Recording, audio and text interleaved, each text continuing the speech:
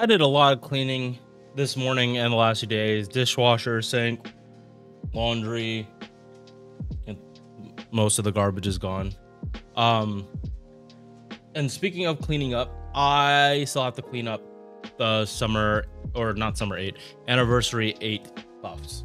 There are like five more servants I haven't covered, even though it's like two months later. Uh, three,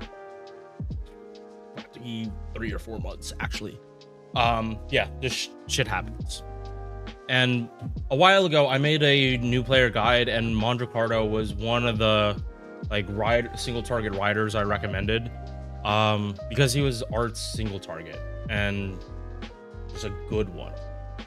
He did have a massive flaw in his second skill, immediately killing himself.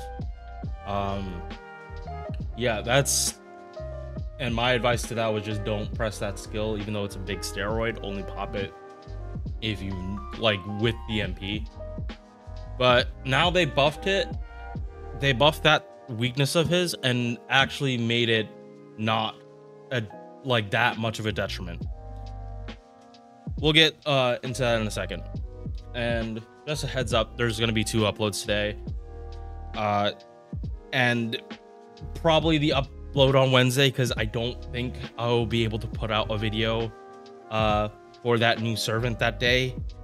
Uh it's like those live streams when they're like that late always kind of push it for me for how much I can actually like get recorded and actually understand the kit before I have to go to work. So we got Anastasia, Kiyohime, uh, Abigail, and Squirtoria along with Magikarp. Let's get started.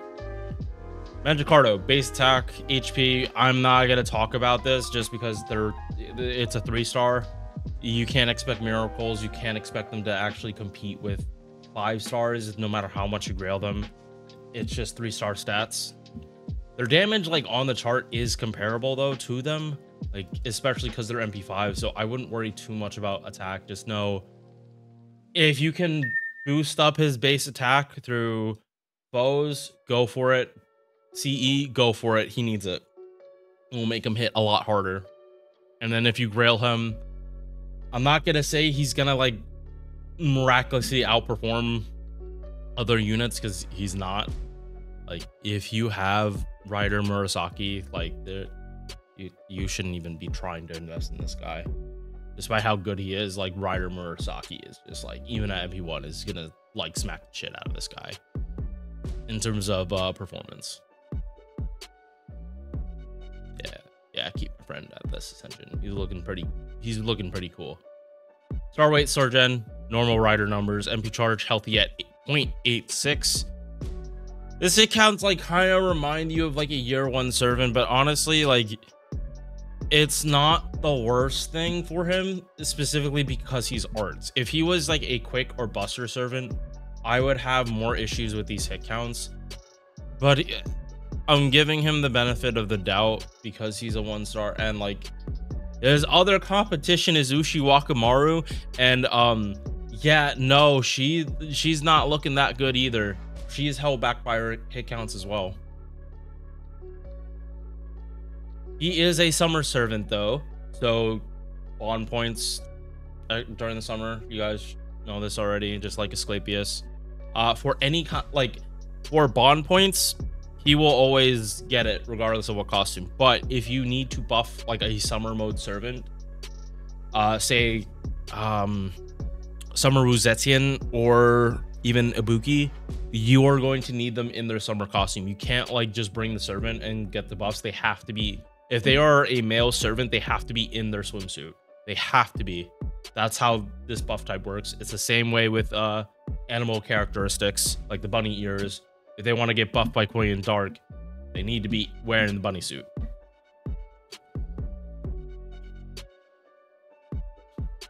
First skill, just solid, generic, but really, really good. Uh, it is a charisma, 20%, but it is also 30% defense for himself.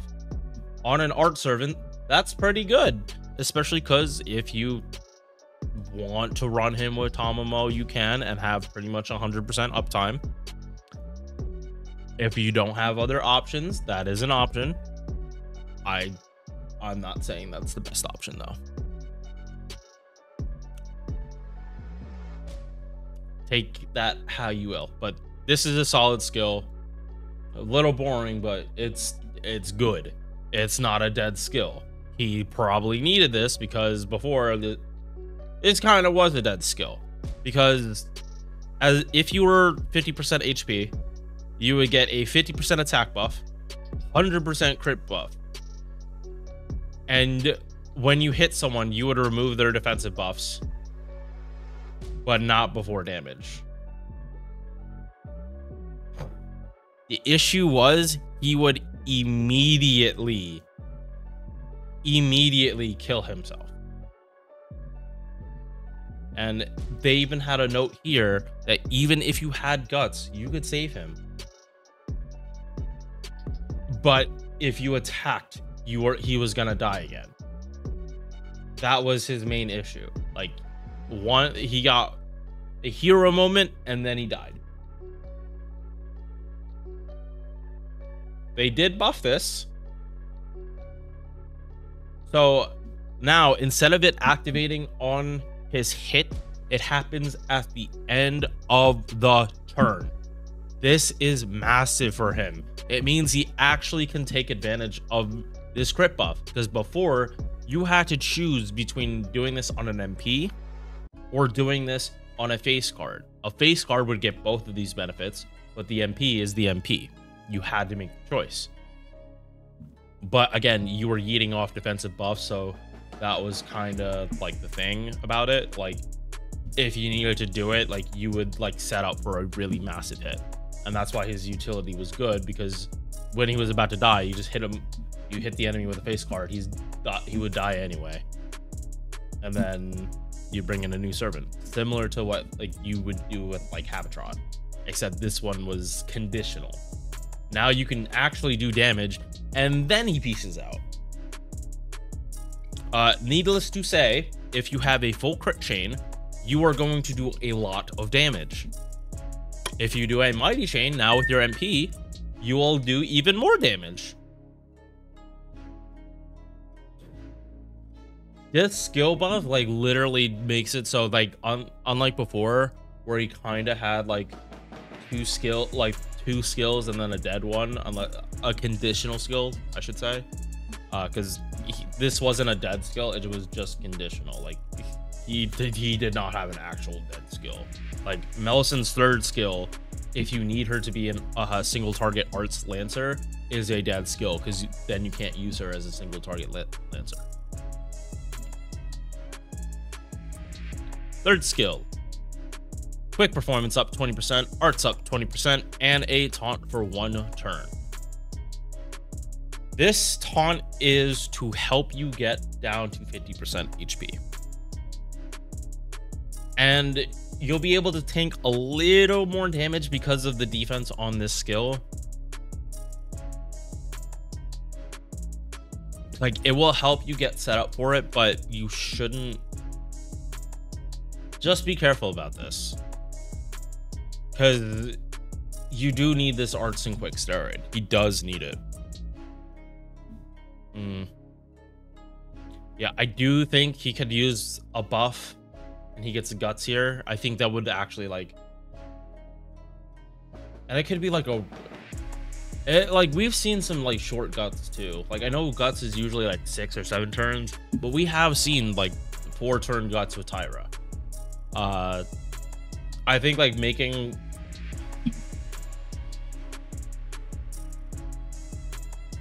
Hmm. Like, I definitely think it should only be a 1 HP guts, though. It, it should not be a 2k or anything. It should be 1 HP. That way, if he dies, or if the guts, like, you can use the taunt to proc the guts, and then you can set up for this. Instead of using the guts to try to mitigate this.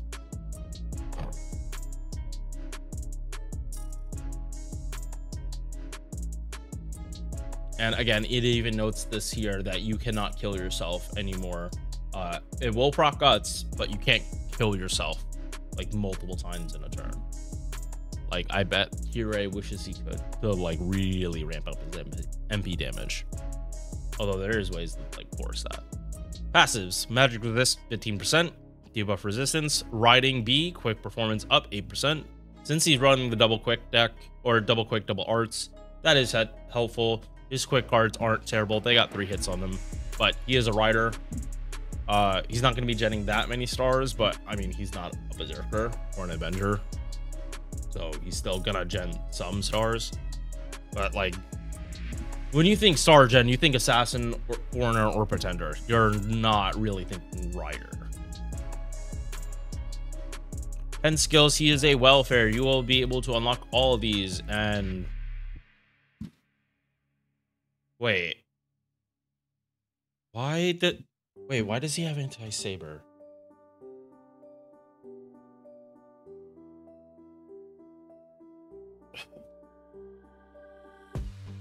Wait, so if we get Ruggiero, is he gonna be a saber? Or no, wait. Am I getting the legend mixed up? I thought Bradamante um legend intersected Mandricardo. Like he was like someone that showed up in the legend. I, I don't know. Um, I I'm gonna have to get back to you on this. Like I know for a fact he wouldn't have anti Lancer because uh he doesn't have beef with Hector. Like he did like they lived in different time periods, so wouldn't make sense for him to have anti Lancer. Uh, yeah, I'm I'm just blanking on why he has anti saber right now. Uh, do you need these? Um, you should probably level the extra attack. It will make it like better for him to be like a solo deep, like not solo DPS, uh, just a DPS if you level this because he does have a four hit extra, and his base stats aren't bad. Uh, they're not amazing. Like these aren't super high numbers, and it's not gonna do that much damage. But I mean, the extra attack upgrade does up the damage a lot. It it upgrades it way more than you think. And just mana loading is just nice nice to have on an art sermon. If you get the coins, get this, but like it's not high priority. NP. Damage to one enemy, four hits, single target arts. He gives himself an attack down, but then he buffs all his other cards by a higher amount. It's kind of the reason why it's like you can level his attack, but like if you're NPing, it's always gonna go down uh, unless you can cleanse it off, meaning like you put Castoria after, which isn't a terrible idea, but that does mean you have to like sacrifice having a mighty chain or just a brave chain in general in order to, to cleanse this off. It is only one turn, so you can't like ramp it down, but it does uh affect his output. I if they were to buff a skill, I think the NP definitely should get a buff. Uh, just to get rid of that, like, the merit, because it's it's, why? It's, mm, it, it's, it's anti-fun. It's anti-fun.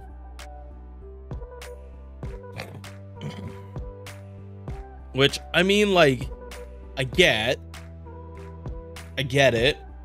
If he does have a massive attack buff, so again, if you do, like, give him foes, lure him, uh, or not lure, give him foes, get him, grail him. He'll do more damage, and it will always scale good because of this. But just remember, the NP is always going to have a 10% down, so this is really 40% attack up, not 50, uh, because attack buffs are additive, not multiplicative. So this it is straight up 50 minus 10. But again, that is only when you pop the skill. 44k compared to single targets is average damage. Uh, Mabe has a buffed NP, which I mean that is a good, that's a good like um benchmark. He's his uh, NP5 damage is comparable, like without his 50% buff, is comparable to a five star with a buffed NP. Unfortunately, Mabe is like one of the worst examples because she actually doesn't have any hold up. Let me let me stop myself from uh misspeaking. But I'm like 90% sure Mabe does not have any offensive buffs in her kit. I feel she's more support and like her damage is much heavy. Uh I'm misspelling Mabe. much more heavily tied to like buffs. Uh, yeah. 20% attack is her only buff, and then a defense down.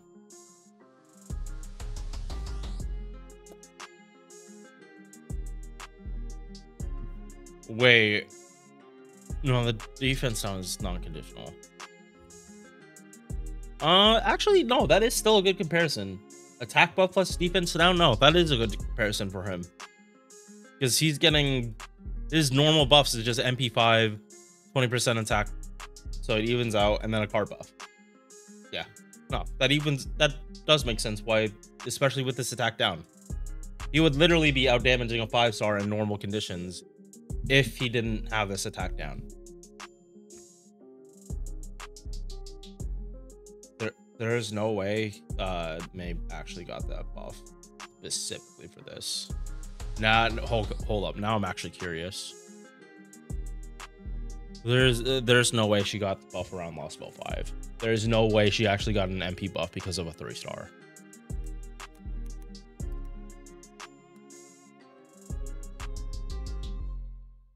This has to be an old buff.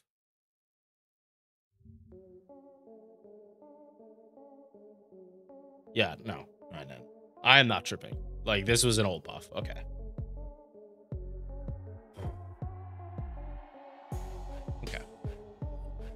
Sorry, just had to like had to double check to make sure you guys were. I'm giving you like actual, factual information and not like just hyperbole.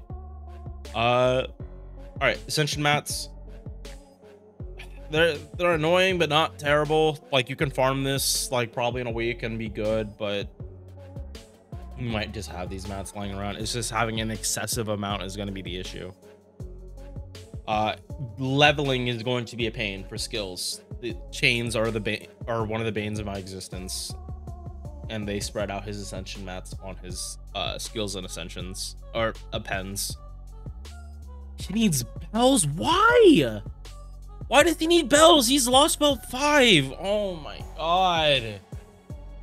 Oh. Oh my god. Why? Why do they do this? Why couldn't they give him like the ley lines? That would have made more sense.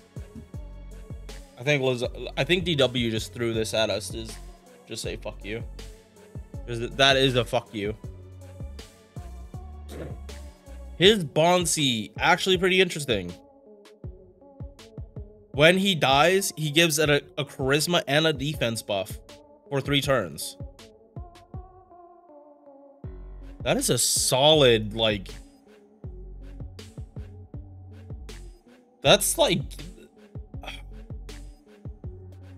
I don't know if that's better or worse than George. Wait. Wait, what's, uh... Isn't George like an invul?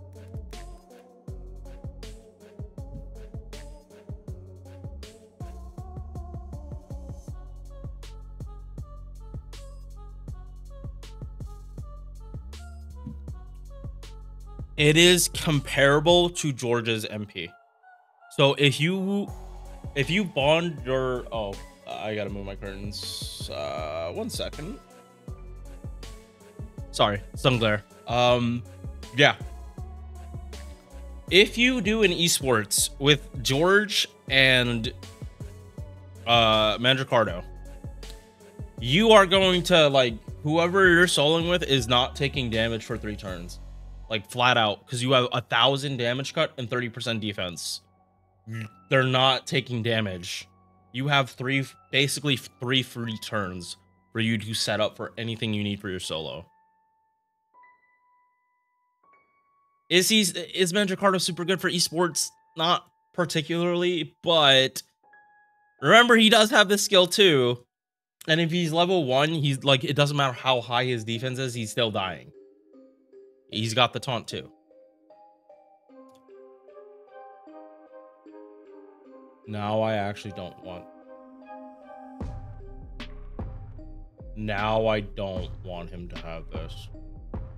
Oh, now, yeah, now I don't want him to have a guts. Because unlike George, it's like George has his guts on a separate skill than his taunt.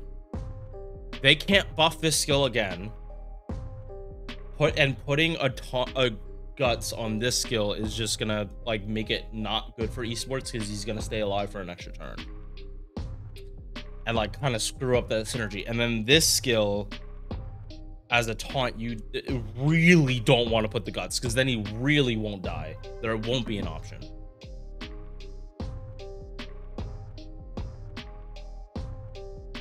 Hmm. Hmm. Like this is actually a more impressive Bond CE than I I originally thought it would be. Like this, like if you are into doing like Minturn stuff, like you should probably bond Mandricardo just to like see if he he can fit in and yeah, see if he can fit into any of your setups. Because again, he basically provides 40% attack and 60% defense for three turns for your solo servant. Like if you like truly treat that level one like an esport.